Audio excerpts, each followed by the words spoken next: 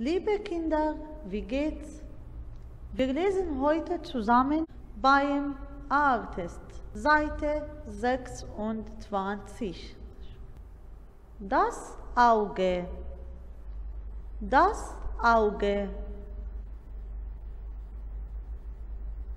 der Mund, der Mund,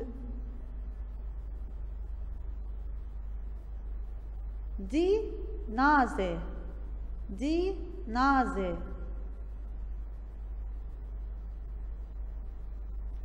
Das Ohr, das Ohr. Der Arm, der Arm. Das Bein, das Bein.